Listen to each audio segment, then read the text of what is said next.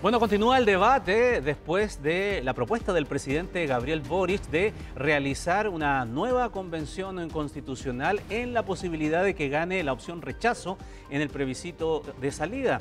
Ahora, esta situación se vio en un cara a cara, evidentemente, con los presidentes de los partidos políticos. ¿Y qué pasó, Álvaro Pache? ¿Cómo está? ¿Cómo está, Ramón? Muy buenas noches. Claro, el tradicional comité político de los lunes, que siempre se hace en la moneda, esta vez se hizo en terreno, en Renca la comuna de Renca. Y en general los presidentes, este presidente, los anteriores también, rara vez bajan a ese comité político, es más coordinación de los ministros con los presidentes de partido. Esta vez estuvo. estuvo. El presidente Boric prácticamente todo el encuentro, después tuvo un par de actividades más. Y se encontró cara a cara con aquellos dirigentes que el día viernes reaccionaron con sorpresa, la mayoría, luego de esta definición de que en el fondo, si gana el rechazo, parte todo de cero. Hay que elegir convencionales y parte un nuevo proceso constituyente. Había varios enojados, había algunos que estaban sorprendidos y yo diría que había otros también que estaban esperando explicaciones.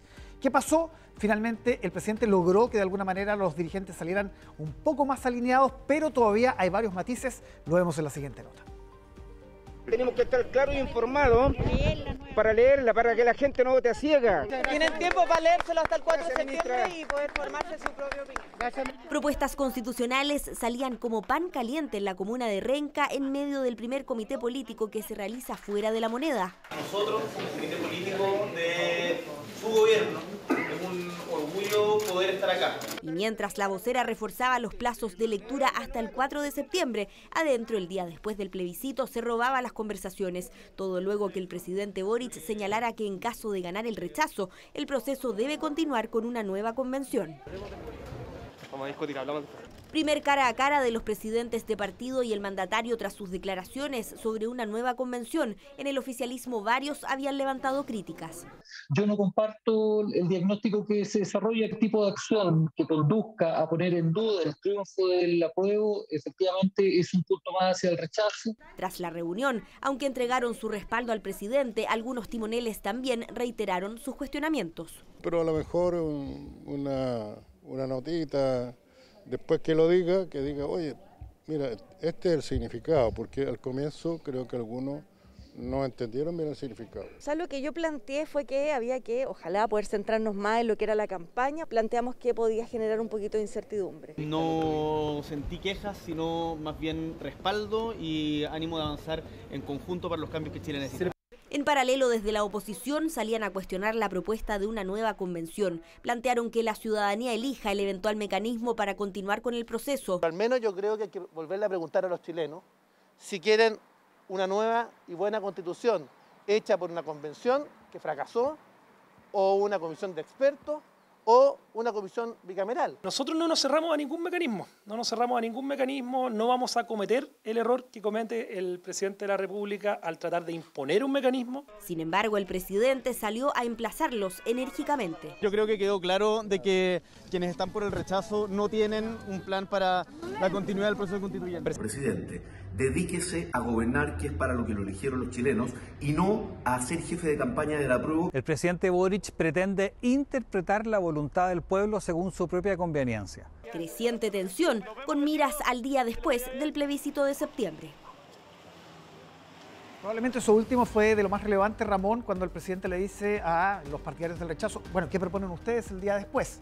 No salieron a responder, es interesante eso, los presidentes de los partidos de Chile Vamos enviaron a senadores, dirigentes, solo respondió como presidente Rojo Edwards de los republicanos, pero los presidentes de los partidos de Chile Vamos no quisieron de alguna manera responder en este caso. Seguimos hablando del día después del plebiscito porque este martes se vota en el Senado los cuatro séptimos, esta propuesta de los senadores Walker, Rincón, Araya, en fin, que buscan rebajar los quórum para poder cambiar la constitución en el Congreso. Es bueno eso destacarlo y siempre recalcarlo. Estamos hablando de una propuesta para reformar esta constitución vigente. Exactamente, esta. Y que podría ser, dicen los impulsores, la llave maestra, si es que gana el rechazo y no hay un plan con claridad, digamos, y que no tenga unanimidad respecto a cómo se va a seguir, porque ya hemos dicho, el presidente dice eh, partir de cero, nueva elección, convencionales, hay otros que dicen comité de expertos, otros dicen parlamento, en fin, no hay una eh, unanimidad en ese sentido. Ahora, em, hasta ahora, el gobierno había mirado con bastante distancia, incluso yo diría con críticas, esta posibilidad de rebajar los cuatro séptimos. Cambió el panorama. De alguna manera el gobierno ahora no va a torpedear esta iniciativa. Que jueguen. Ese fue un poco el mensaje del gobierno, lo escuchamos en voz de la vocera Camila Vallejo. La verdad es que como gobierno no tenemos ningún problema con esa propuesta. Eh, hemos dicho y lo seguimos sosteniendo que es parte de la deliberación democrática que va a sostener el Congreso, que ya la está teniendo, de hecho. Todo mm, proyecto, reforma eh, que habilite cambios, la verdad es que eh, no va a ser el gobierno quien se oponga a aquello. Hace dos semanas Matías Walker, uno de los impulsores, nos decía en Tele 13 Noche que tenían los 33 votos en el Senado, es muy probable que los tengan que se apruebe en el Senado. No así en la Cámara, ahí el pronóstico es reservado, porque recordemos que este proyecto tiene que volver a la Cámara de Diputados.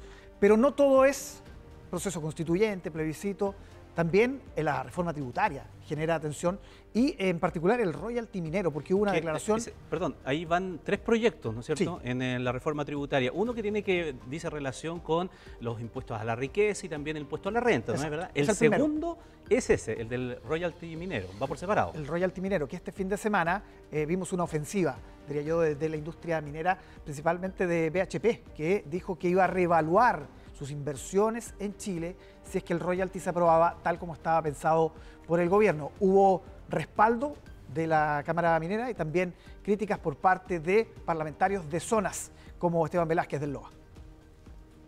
El proyecto royalty del gobierno establece en definitiva una carga tributaria exagerada para el país. Nos deja fuera de competitividad, no asigna suficientes recursos a las regiones, no distingue entre empresas con altos o bajos costos. El resto de las empresas eh, de la gran minería probablemente van a reevaluar sus inversiones. Compañías mineras representadas en este Consejo Minero no pueden seguir levantando fantasmas y amenazando con que podrían llevarse las inversiones.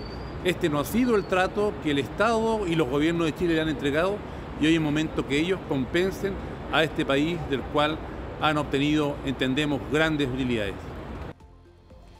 La primera parte de la reforma tributaria, lo que tú decías Ramón, eh, renta y riqueza debería comenzar a verse esta semana, probablemente este martes incluso, pero el ministro de Hacienda está en Nueva York, está en el Chile Day. Chile Day claro. Así que vamos a ver si finalmente comienza mañana o va a ser hacia el jueves o viernes.